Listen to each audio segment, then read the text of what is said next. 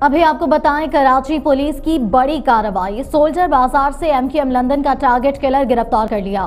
ملزم یوسف عباس ٹھیلے والا چھیانوے افراد کے قتل میں ملوث ہے۔ ملزم کے ایک سال جیل کاٹنے کا بھی انکشاف ہوا ہے۔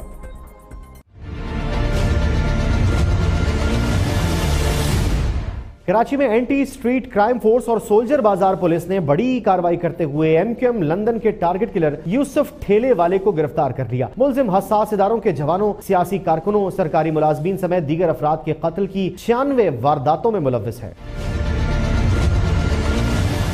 ملزم یوسف عرف ٹھیلے والے کا تعلق ایم کیو ایم لندن سے ہے۔ ٹارگٹ کلر ٹھیلے پر لاشوں کو ٹھکانے لگاتا تھا۔ گرفتار ملزم نے سنسنی خیز انکشافات کیے اور کہا کہ سابق ایم کیو ایم سربراہ فاروق ستار نائن زیرو پر رہائش کا بندوبست کرواتے تھے۔ قیادت کے کہنے پر وارداتیں کرتا تھا۔ ٹھیلے والا اس کو اس لیے اس کا نام ہے، مرڈر یہ کرتے تھے، ان کو پیسز میں کاٹ کے یا بوریوں میں ڈال کے تو یہ مختلف جگہوں پہ ٹھیلے کے اوپر لاد کے اور جا کے ان کو پھینکا جاتا تھا۔ فاروق ستار نے الزام کی فوری تردید کر دی اور کہا کہ یوسف ٹھیلے والے کو نہیں جانتا یہ میرے خلاف سازش ہے۔ کبھی نائن زیرو کا کیئر ٹیکر نہیں رہا۔ وہاں کون کہاں رہتا تھا؟ کس کمرے میں؟